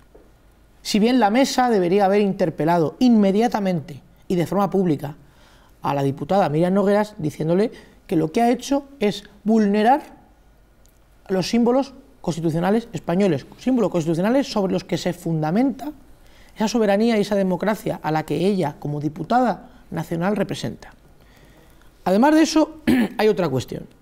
Aparte de la falta de respeto política, de la falta de respeto democrática, de la falta de respeto incluso ética que ha tenido a la hora de desplazar con esa actitud tan chulesca y displicente la bandera eh, a un lado de la sala, hay otra cosa, y es que, y ahí os afeo a los periodistas, porque no, no se levantaron. No, perdona. se fueron. Yo eh, iba a hacer una valoración ahora de, lo, de ese gesto que hemos visto, es que mis compañeros, los periodistas, estaban callados como puertas. Que en este país, es que, ¿cómo es posible que estemos llegando a la degeneración? A una degeneración moral de nuestra clase política y estemos viendo que muchos muchos medios de comunicación, no, joder, es que en este humilde, en esta humilde tertulia, en esta humilde televisión, se dicen cosas que no se dicen a nivel nacional. Y además vosotros los tertulianos decís cosas y, y opináis de, de- de- de cosas que no se dicen a nivel nacional. Tienes razón, porque ahí el único que preguntó fue un chico que no sé de qué medio era, que lo hemos visto. Es que se han callado como puertas. Es que esto ha pasado, bueno, desapercibido. Eso, esos periodistas parlamentarios, sí, ¿dónde estaban? Pero te digo una cosa, aparte de que no se levantaron, te digo otra cosa. no, si, los, si los no propios es que no se diputados, levantaron, es que se han callado como puertas. si los propios no han dicho diputados ni mu. y los propios periodistas parlamentarios, que son los cronistas parlamentarios, Pues no, res- están respetando claro. ese gesto, ¿cómo pretenden? Y sobre todo hablo de los diputados, de todos los grupos políticos. No es la primera vez que presenciamos Si- cosas en el Congreso. Pero ¿eh? si ellos no respetan la bandera y si no hacen estos gestos, mi pregunta yo la lanzo a, lo- a los cuatro es, ¿cómo pueden obligar a nosotros a que respetemos nuestros signos? Claro, Guillermo. Os ruego brevedad, por favor, porque Sí, vamos sí, muy, voy a ir, voy a ir al grano. venga. Es decir, estoy de acuerdo con José María que eh, parte también el tema del poco aprecio o apego que tenemos a los símbolos de- del Estado, que lo, lo recoge la Constitución. Y voy a poner un ejemplo. Nosotros cuando vemos los presidentes de Estados Unidos, sean del partido que sean, lo primero que hacen cuando toman posesión es ponerse la, el pin de la bandera de los Estados Unidos en la solapa. Y yo creo que hasta que no cesan en el cargo, llevan el pin de la de bandera Francia, de Estados y de Unidos. pero- Italia. Pero, de Estados Unidos, que es, un, es una potencia mundial. Es son decir, 50 estados. Es decir, son 50 estados, están representando a 50 estados. Bien, pregunta que a mí me sorprende y además me gustaría que me estuviera escuchando el presidente de gobierno de No ahora, escuchar, no. los anteriores le- le da igual. y los que vayan a venir. No te da ¿Por igual, da igual. no se pone la bandera con Vale. el pin de la bandera de España en la solapa cuando recorren todas las autonomías de. España? Porque- es que les da vergüenza. No, les da Porque- vergüenza llevar el no, pin con la bandera. Porque hay mucho Hombre, ofendidito. Hay mucho ofendidito en España. Y no, bueno, a ver, si lo hace un señor o una señora a título particular, lo que ha hecho Miriam Nogueras, eh, eh, que lo cuelgue en YouTube, pues es cosa de un particular.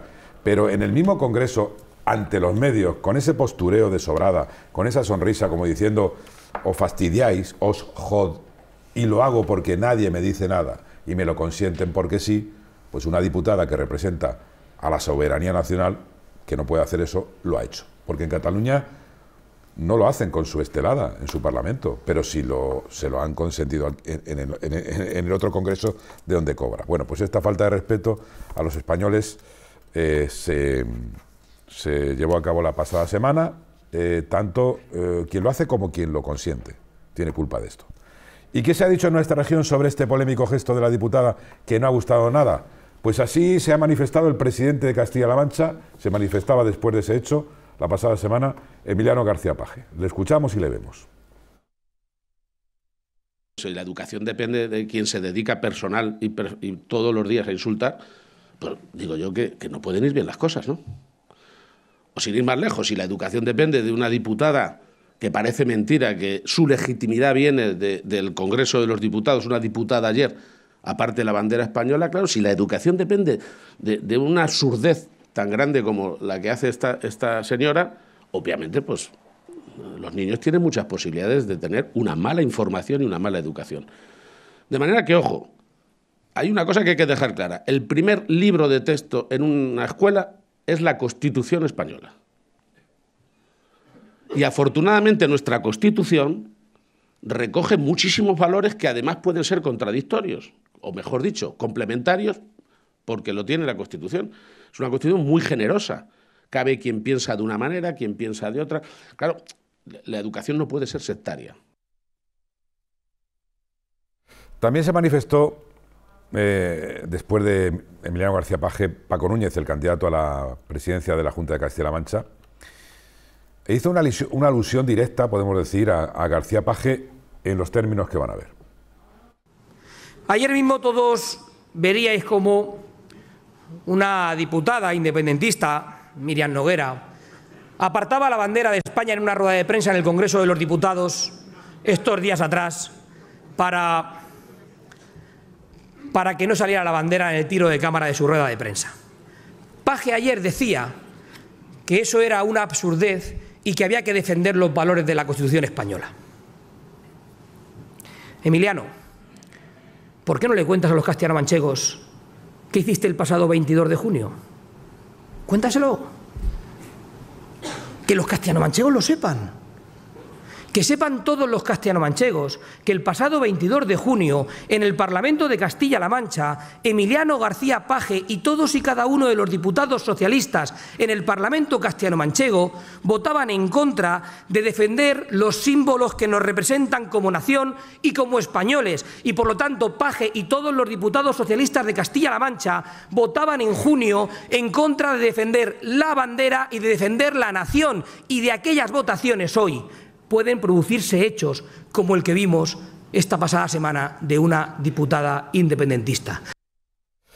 Bueno, Núñez, Núñez recordando eh, y afirmando que el PSOE apoyó despenalizar el ultraje a la bandera española, asegurando que los diputados del PSOE por la región votaron a, a favor de la ley que despenalizaba injurias a la bandera o a la corona. No sé qué estás diciendo. Guillermo, estoy hablando. ¿Qué, ¿Qué, es lo que estás comentando?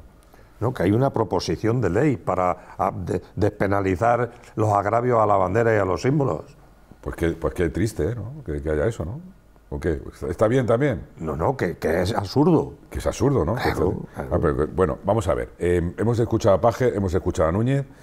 Eso es lo que se dice en la región. Yo creo que los dos, eh, aunque Paco Núñez aprovechó ese momento para, para aludir a, a Emiliano García Paje, esa acción, que dice él eh, que, fue así en las Cortes. Es que nadie puede estar a favor de, esto y hace daño. Y yo creo que también a los políticos, evidentemente, les hace daño todo esto. Bueno, primero, para responder a la diputada que aleja su bandera, pues yo beso la nuestra, ¿no? Ya estamos, con los gestos. Y después de eso, eh, el padre de una señora que tú y yo queremos mucho, eh, pues su hija, no, me dijo una vez una frase que me encantó, que es que la educación de un niño comienza 50 años antes. Hace 50 años, era 1973, y gobernaba en España el general Francisco Franco. Y quizá esa es la simbología que esta diputada ve en los símbolos o en los gestos de la bandera de España. Si es por eso por lo que lo identifica la bandera con Franco, solamente tengo que decirla que además de corregirla en lo de la Unión Europea, también la tengo que informar que la bandera de España lo es de España desde el año 1785. Eh, Reinaba en España Carlos III, es decir, hace 238 años, con la excepción del gobierno de la Segunda República, del 31 al 39, que la bandera rojigualda lo es de todos los españoles. Así que si es por ahí por donde venía la diputada, también se equivoca. Muy breve. Y la actual se regula en el año 81 en una ley. Eh, ¿Cuál es la clave entonces para luchar contra estos, digamos, desmanes secesionistas, eh, Floro? Ojo, y ante, yo le he dicho antes. Ojo, y ante el silencio también de Sánchez, de la presidenta del Congreso, de los ministros socialistas y, como antes ha dicho, de los periodistas de Unidas Podemos. ¿eh? ¿Qué hay que hacer? ¿Hay que, hay que tocarles el bolsillo? No, no, no. No, yo os digo que a esta valiente le tocas el bolsillo como, como a sus compañeros y hacen dos cosas. O cantan o no vuelven a, tocar el mástil de la bandera? Yo lo, tengo, yo lo tengo clarísimo. Además es que creo que no se presta ni a discusión ni a duda. Vamos a ver. Se establece un protocolo de toma de posesión y de adscripción de la condición de diputado nacional, nacional, de las Cortes Generales Españolas, con un formulismo reglado. Y quien lo cumple, tal cual, sin inventos y sin historias, es diputado, adquiere la condición. Y quien no lo cumple, sin intervenir además o diga lo que quiera el propio Tribunal Constitucional, al que se le debe vedar en la propia norma de, interpretar ese protocolo, porque debe ser así, y punto, y porque lo acuerdan las Cortes Generales o lo acuerda o, se establece en, en, ley, por ley, no las quiere la condición. Y si no adquiere la condición de diputado, ese señor o señora nunca va a estar presente y nunca tendrá ocasión de ofendernos a nadie. Y se ha acabado. Si es que es eso nada más que se cumpla un protocolo. Eh, ¿Tú qué harías? Pero estás hablando a futuro, porque ese protocolo no existe, que yo sepa, y por eso están pasando las cosas que pasan. Estoy diciendo, que, se imponga un protocolo. Claro, lo que he dicho yo de la y, y, te voy a decir una cosa, y se puede imponer facilísimamente. Basta con que los dos partidos mayoritarios Lo, lo, lo aprueben y lo, y lo eleven a ley. Se acabó el tema, punto. Como, en otros, como en otros aspectos de, de, digamos, de posesiones. Como en otros aspectos, digamos, de carácter estatal, de interés general o interés común de todos los españoles. Mientras, eh, mientras, pero yo lo, lo, lamento, mm, yo no quiero decir que sea del PP, porque yo no soy de nadie pero me tengo que mostrar contrario a la incertidumbre que genera siempre ese tipo de manifestaciones el PSOE. Es muy blando, es muy débil, lo siento mucho. Es que es así. publicidad. Venga, un minuto para cada uno, nada, muy, breve, segundo me dice. Guillermo, una conclusión. Estas personas eh, resulta que tienen mucha jeta, porque no tener en cuenta otra, otra palabra para decir lo que voy a decir. Es decir, es decir estas personas resulta que no quieren saber nada del Estado español, quieren ser independientes y luego tiene la cara dura, porque no, puede ser de otra manera. No lo habíamos dicho eso. de de presentarse a unas elecciones para ser diputados nacionales, y encima hacernos leyes que nos afectan a todos. Bueno, pero no, ahí no son falsos. Ellos se presentan para defender sus intereses. No, no, no. Y, ojo, y lo de la obligar a alguien a que lleve el pin de la bandera, cada uno que lleve la bandera que hay. El señor Garzón lleva la del Partido Comunista, con Lenin ahí. ¿eh? Claro, claro. El ministro de España lleva el Partido Comunista. No, él lleva el triángulo invertido. Y lo puede llevar. porque es el líder de Izquierda Unida. es que yo no he dicho... Eh, ha dicho los presidentes del gobierno. Los presidentes de gobierno del Estado, eh, que representan al Estado, son los que, en mi opinión, no les debería dar vergüenza llevar el pin Sánchez la le he visto con, la, con una mascarilla, me acuerdo de la pandemia, con la bandera de España aquí. Sí. Claro. ¿Vale? Pero se la ponen cuando les interesa. cuando vienen las elecciones. sí, sí. No, no, yo también le he visto. Bueno, a ver, que no me he preguntado que si, eh, que si la solución, José María, eh, no me habéis contestado, ¿es tocarles el bolsillo? Con una sanción cuando hagan gestos de este tipo. La solución o que, es regularlo o que el Congreso sea ya la libertad absoluta, paradigma de la libertad. Tú dices que sí. José María, tocarles el bolsillo. La, ley, la, solución es, que vuelva al Código Penal como Dios manda y que se regule en el reglamento del Congreso de los Diputados. Señores, ley trans tantas noticias de las que se están hablando y de las que nos estamos ocupando por la ley del solo sí es sí, eh, la ley trans, la ley del aborto o la ley de bienestar animal, están dejando muy patente que leyes que, que son importantes, que sí que son importantes y en algunos casos necesarias, pues en manos de las personas mal elegidas o inadecuadas, con falta de experiencia, de preparación, de estudios, de formación, de educación, de pericia, y con exceso de sectarismo ideológico acaban creando conflictos con los resultados tan graves y nefastos que lejos de atajar los problemas, lo que hacen es acrecentarlos para crear polémica, frustración, crispación, confusión y malestar social. De eso hablamos enseguida, en el último bloque, no se lo pierdan, y también de la presentación ya oficial de la candidatura de Emiliano García Paje a la reelección por tercera vez consecutiva a las próximas elecciones regionales autonómicas del 28 de mayo. Así que todavía nos queda el postre, no se vayan.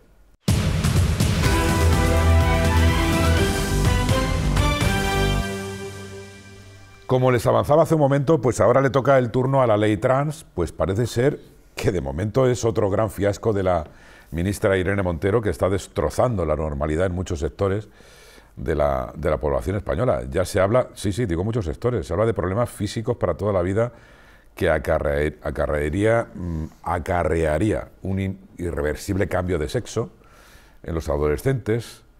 Eh, hay sectores que están en contra, los últimos los funcionarios de los juzgados que manifiestan, que denuncian, que no saben cómo actuar ante estos, ante estos posibles casos. Permisos a los adolescentes que pueden optar sin necesidad de contar con sus padres o tutores a un cambio de sexo que ya estamos conociendo que está causando o ha causado problemas de salud muy graves.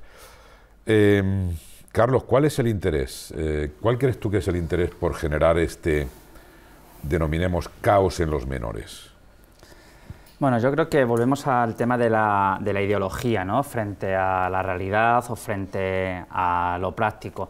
Es cierto que los estudios que se están aportando después de la proposición de esta nueva ley eh, van orientados hacia la falta de madurez de los menores, estamos hablando concretamente de los menores que tengan a partir de 12 años, sobre, sobre, su identidad sexual y sobre todo se está generando eh, un problema que es el que se llama disforia, disforia de género repentina, que es la confusión en los menores eh, acerca de lo que es el sexo y de lo que es el género.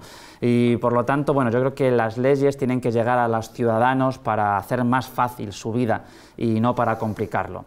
¿Que hace falta una ley que regule o que aporte facilidades al tema de la transexualidad? Pues seguramente sí, ¿no? Pero que esta ley adolece de muchos puntos flacos y que está más dotada de ideología que de realidad, pues creo que también. A ver, eh, Javier Urra, al que la mayoría de los espectadores conocen, porque ha participado en muchos programas de televisión, es un buen amigo personal, es un gran profesional que pronto estará aquí en el Braserillo, así me lo ha prometido, y al que preguntaré si le han, le han consultado para llevar a cabo, para poner sobre el papel esta ley, primero porque fue el primer defensor, como dice aquí Florentino, del menor de la Comunidad de Madrid y hoy es psicólogo forense de la Fiscalía del Menor. Bueno, pues el, bueno de Javier Urra ha hecho esta semana unas declaraciones que le leo, les leo textualmente. Decía Urra que nadie nace en un cuerpo equivocado, que es un tópico erróneo. Y también decía que para él lo más peligroso de la ley trans es que plantea aspectos que dejan en indefensión a los menores.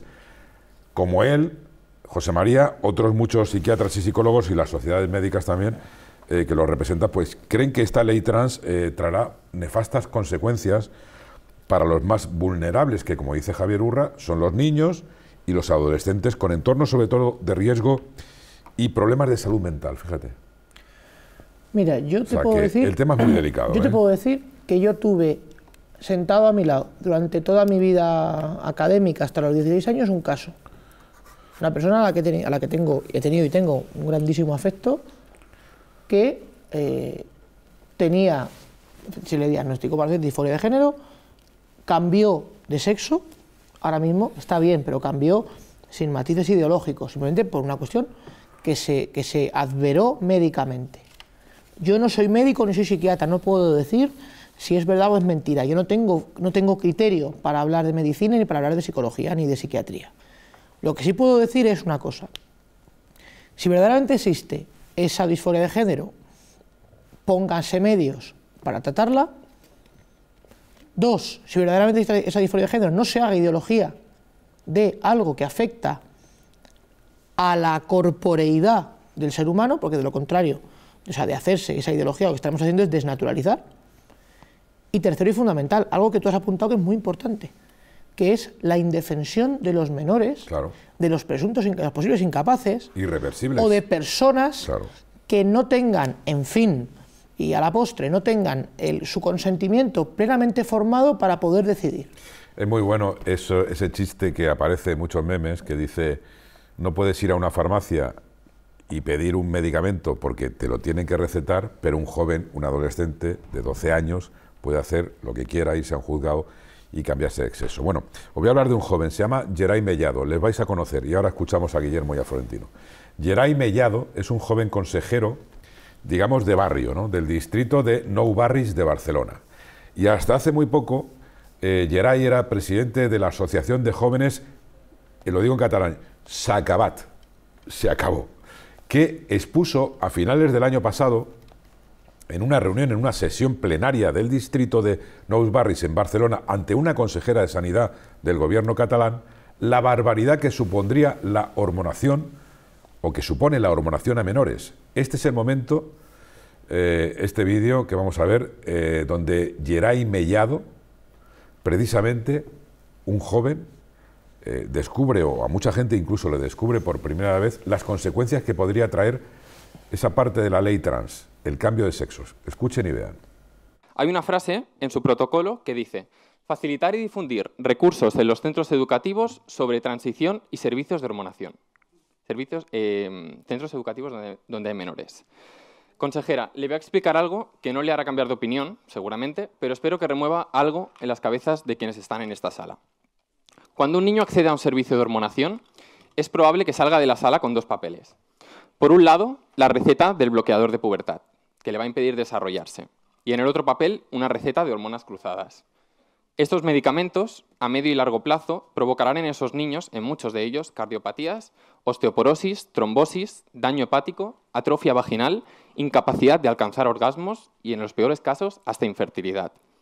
Sus servicios de hormonación convierten a niños sanos en pacientes crónicos, que en el mejor de los casos pasarán toda su vida con una caja de hormonas. Y eso lo habrán decidido con 14 o 15 añitos. Son ustedes unos irresponsables poniendo esto en este plan y tienen malas intenciones. Hormonar a menores para bloquear su pubertad no es un derecho humano, es un crimen contra la infancia. Amputarle el pene a un niño sano no es reversible. ¿Qué van a hacer si gracias a su campaña un niño se arruina la vida de esa forma? ¿Y si se arrepiente en el futuro? charlas de concienciación, pegatinas, pancartas. Y además les voy a decir algo que no les va a gustar, porque yo no estoy aquí para gustarles, como ya se habrán imaginado. El género no es una cuestión cultural, ni social, ni, política. Es una cuestión biológica. Geray Mellado, en una sesión plenaria vecinal, podemos decir, de un distrito de Barcelona, ante la consejera de Sanidad catalana, que lo que quería o lo que quiere es ya inducir desde las escuelas una guía, Guillermo. Yo creo que lo ha explicado Sí, yo sobre eso... Someramente, muy mm, claramente y muy directamente. Voy a decir lo mismo de José María. No soy experto, ni soy científico, ni soy psicólogo. Ya lo sabemos, no digas más cosas, ya sabemos que no eres todo eso. Pero mm, yo creo que estamos ante una presunta ley de que va a ser una aberración, porque ni los dos grupos que están mm, que pueden aprobarla, ni siquiera esos dos grupos se ponen de acuerdo. Y, el kit de la cuestión, no en esta ley, sino, en algunas otras, para mí está en las dos corrientes que hay a la hora de elaborar leyes, que es el naturalismo y el positivismo. Aquí solamente prevalece el positivismo, es decir, solamente le preocupa la ideología y el número de votos que tienen a favor para sacar una ley que no tiene en cuenta ni la ley natural, ni la moral, ni la razón, ni la biología, ni la ciencia, nada de nada. Es decir, solamente les preocupa sacar adelante una ley que está basada en su propia ideología. Florentino. Yo voy a ser muy breve. A mí esta ley trans me parece casi, o sin, sin, el casi, me parece de peores efectos y consecuencias que la ley eh, del solo sí es sí porque los efectos son más ampliamente negativos y perjudiciales para la salud, la salud de las personas afectadas, sobre todo por su irreversibilidad, como apuntaba este chico que ha intervenido ahí. Y sobre todo porque observo desde la, desde la simpleza que te da la visión objetiva de, mirar las cosas con naturalidad y sin, y sin, complejidad, sin complejidades mentales, Mm, todo me conduce a decir directamente que lo veo una frivolidad, una falta de rigor científico de contraste tremendo. Eh, que una ley de estas características se apruebe en tan corto espacio de tiempo eh, y salga como ha salido redactada en estas condiciones, me parece que es fruto de una, y consecuencia de una discusión asamblearia y de instituto por las personas que la llevan a efecto y una cuestión muy grave, que el gobierno de la nación, parezca que al mismo tiempo es gobierno y al mismo tiempo es oposición, porque estoy convencido de que en su sano juicio y, criterio nadie que corresponda al PSOE dentro de ese gobierno participe de la idea de aprobar esa ley. Estoy convencido, pero otro, tragan. Y otro lío en la coalición de gobierno que va a haber, seguro, con esto. Igual que la ley del solo sí es sí, pues lo habrá. Un titular. Eh, o, tres ejemplos muy breves. Cuando tenía 12 años me fui a ver al cine la película Rambo y en el colegio además me llevaron al destacamento del Cerro Negro en Talavera y terminé vistiendo de colores verdes. Con 13 años eh, estrenaron en el cine Karate Kid y me apunté a un gimnasio para aprender karate e iba con una cinta en la cabeza. ¿Y Gris no la viste y, no te pusiste la camiseta de Travolta? Con 14 inauguraron Top Gun y me montaba en los recreativos en esos simuladores de vuelo y mi madre me compró una ray y una cazadora de piloto. Después, cuando fui madurando, fui asentando mi manera de pensar y sabiendo que quería ser de mayor. Y ya no quería ser ni militar como Rambo, ni, quería ser karateque como, ni, ni como Maverick. Pues precisamente quizás ahí, en esa inocencia de los 12 años, es donde esta ley flaquea. Nuestra evolución nos va diciendo lo que queremos ser y con 12 años queremos ser una cosa y con 18 terminamos siendo otra. En la región ha habido muchas noticias destacadas eh, desde el pasado martes que tuvimos programa, pero una de las más destacadas es con la que vamos a terminar. El presidente de Castilla-La Mancha, Emiliano García Paje, ha formalizado ya algo que no nos pilla por sorpresa, su intención de ser de nuevo candidato del Partido Socialista para revalidar por tercera vez, además, su, su mandato al frente del Ejecutivo castellano-manchego. Un anuncio que escenificó el pasado viernes 24 de febrero en la inauguración de una residencia en la localidad conquense de Cañete, un centro cuyas obras, recordaba Paje, fueron paralizadas por el Partido Popular cuando gobernó en la legislatura 2011-2015. Sobre ese anuncio, sobre su intención de revalidar por tercera vez la victoria socialista en Castilla-La Mancha, les ofrecemos más datos en este vídeo. El presidente de Castilla-La Mancha ha formalizado su intención de ser de nuevo el candidato del PSOE para revalidar por tercera vez su mandato al frente del Ejecutivo castellano-manchego. Que hoy, a primera hora, antes de salir, eh, he firmado un documento aceptando ser de nuevo el candidato por mi partido para repetir en Castilla-La Mancha. Esto es algo que para algunos puede tener importancia, para algunos puede tener importancia, para otros no, pero tengo claro que este paso en mi vida lo doy fundamentalmente por dos razones. La primera porque mi partido me permite, acepta, asume que para mí esté muy por delante del propio partido y de todos los partidos juntos, que esté muy por delante Castilla-La Mancha y que por supuesto esté muy por delante España. Eso me importa mucho más que todo lo demás. Si no lo aceptaran, yo nunca sería candidato. Si no se aceptara, yo nunca sería candidato porque no podría. No podría quedar bien con las dos cosas que me importan en la vida. Mis ideas y mi país para entender. Esto es elemental. Un anuncio que ha escenificado en la inauguración de una residencia en Cañete, un centro cuyas obras, ha recordado, fueron paralizadas por el Partido Popular cuando gobernó en la legislatura 2011-2015. ¿Saben cuántas obras e infraestructuras se pararon, se pararon en los años duros de los recortes? No hemos llegado a recuperar todas, todavía, queda todavía camino. Todavía tengo que recuperar muchas de las cosas que se quedaron paradas y en el cajón hace unos años. Se pararon 616 obras. Todos los hospitales, todos los centros de salud, todas las residencias, todos los institutos, la mayoría de los colegios, por supuesto todas las carreteras. 616. Llevamos muchos años nada más que intentando recuperar, recuperar lo que estaba parado, ni siquiera inventarnos la pólvora, recuperar y volver a, poner en marcha lo que estaba parado.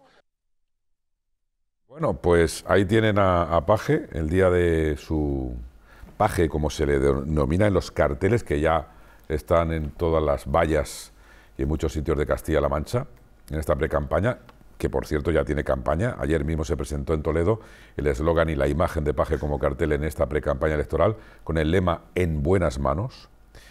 Eh, podemos afirmar que es el varón socialista que con más vehemencia y claridad pues, se ha opuesto a algunas políticas y decisiones de las que hoy hemos hablado aquí, de Pedro Sánchez. Y evidentemente ese distanciamiento pues, representa, eh, Guillermo, dos maneras de ver el socialismo. Y la perspectiva de Paje es la del PSOE, digamos, más clásico, y es con ese modelo con el que eh, quiere volver a, presentarse, se vuelve a presentar, queriendo convencer a un electorado de centro aquí en Castilla-La Mancha, que es al final el que decide la balanza electoral en nuestra región. ¿no? Vamos a ver, Paje tiene la obligación de presentarse, no podía, no podía abandonar el barco una persona que lleva 40 años en política porque empezó a los 19 años. Es decir, si no se presentara, creo que sería mal visto por el propio Partido Socialista. Y si gana y gobierna, estupendo. Si gana y no gobierna, se quedaría en muy buena predisposición para quitarle las quitarle la silla a Pedro Sánchez. Se pueden hacer cábalas entonces, Florentino, ¿no? Eh, lo que dice Guillermo sobre el futuro de Paje. En algunos sectores se comenta que si Sánchez pierde las próximas eh, elecciones generales, Paje se, postulara, se podría postular como nuevo secretario general del, PSOE, ¿no? ¿Esto significaría la vuelta del Partido Socialista, digamos, a sus raíces originales?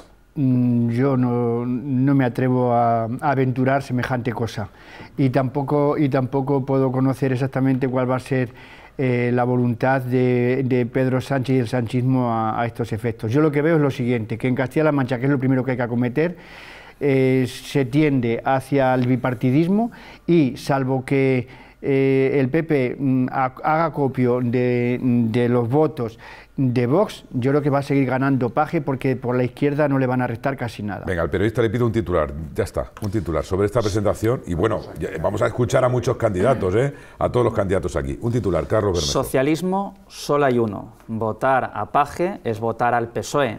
Lo que ahora tenemos que saber es si sobre el PSOE pesa más el sanchismo. A ver, un titular de José María San Román. Muy fácil. ¿Habrá efecto Roldán? Tenemos autonómicas y municipales antes que las generales. Pero porque, a ver, por lo que hemos hablado al principio del caso del tío Berni. No, no, la más fácil.